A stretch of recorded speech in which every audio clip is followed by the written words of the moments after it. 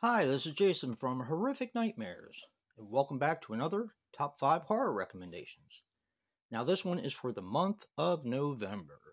Now, this is where I pick five movies that I really enjoyed, that I watched in, the, in a certain month, and two honorable mentions. So let's get started right away with the honorable mentions.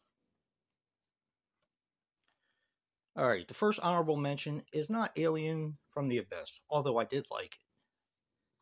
It is actually called The Outsider, the cinema of Antonio Margheriti.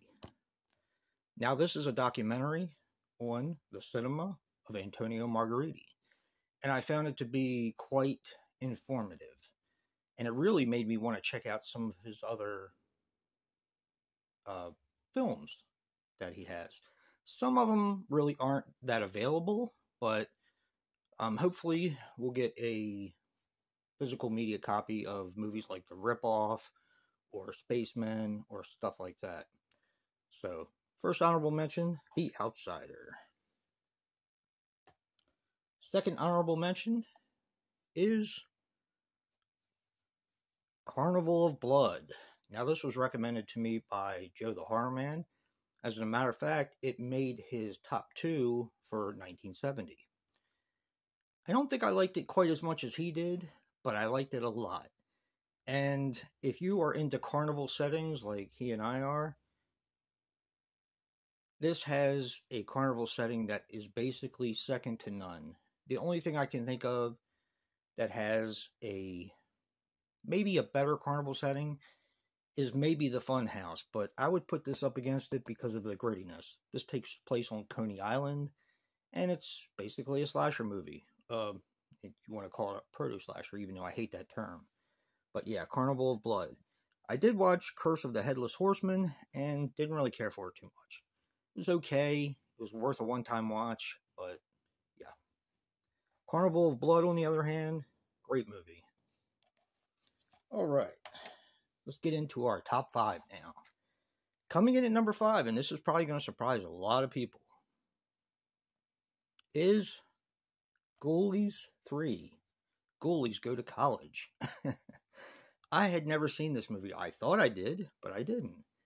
And the best way to describe Ghoulies Go to College is it's basically Ghoulies and Animal House mixed together. I had a blast with this movie. I considered putting it higher on my top five, but the other movies were just outstanding. So it came in at number five. And that's Ghoulies Go to College. Really a surprise. Okay, coming in at number four is The Canyon. Now, I picked this up from a Savers, and I wasn't really sure about it because I'd never heard anything about it ever. But when I watched it, I absolutely loved it. Now, this has Will Patton in it, and he plays a guide. And this couple is at, in their honeymoon and they want to go through the, I believe it's the Grand Canyon. But they go too far, and I'll just leave it there. Really good movie, though. Really good survival film. Yeah. The Canyon.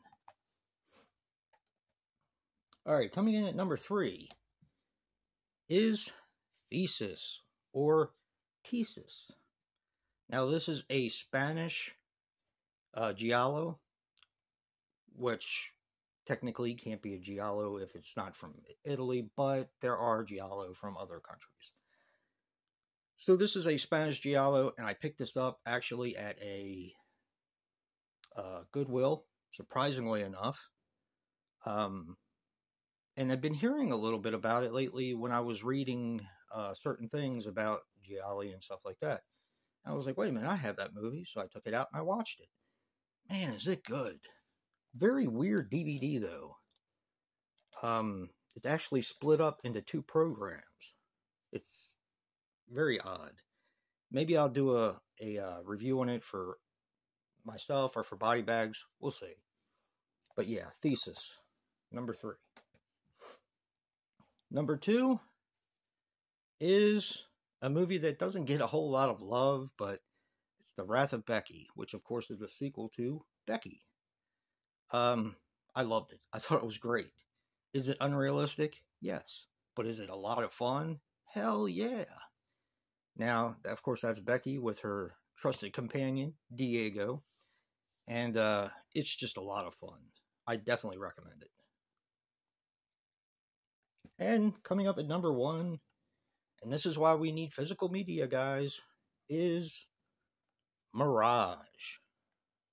Now, this is a slasher which currently doesn't have a release anywhere on anything.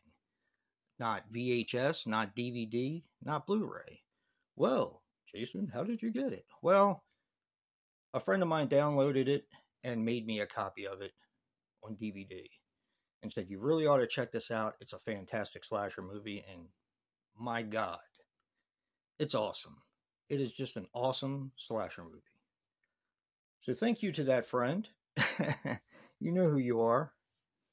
Yeah, Mirage is absolutely awesome.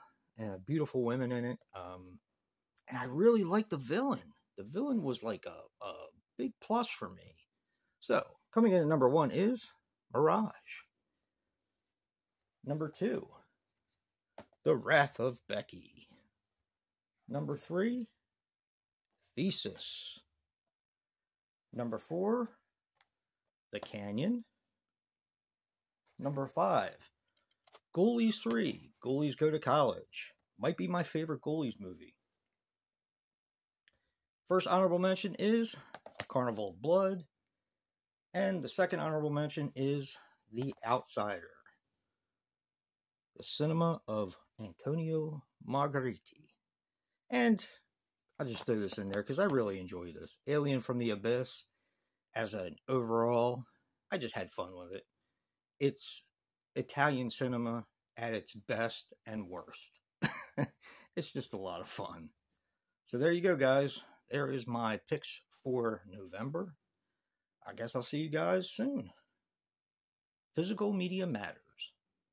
And until next time, peace.